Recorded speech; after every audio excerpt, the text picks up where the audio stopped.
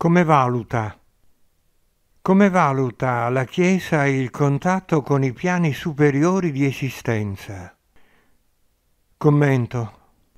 La Chiesa non nega il contatto, ma proibisce l'evocazione dei trapassati. Esodo 22,17, Deuteronomio 18,11, primo libro delle cronache 10,13, Isaia 8,19.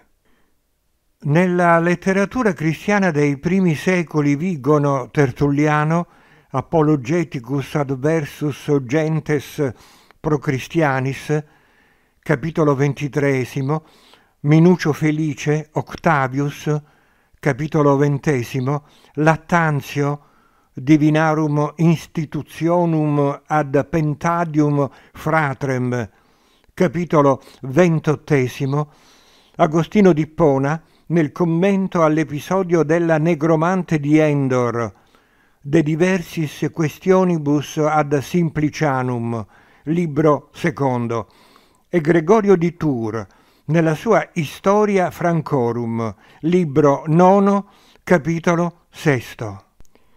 Dai primi secoli ad oggi molte medianità importanti hanno spiegato la funzione della vita, la funzione delle vite e quella delle religioni.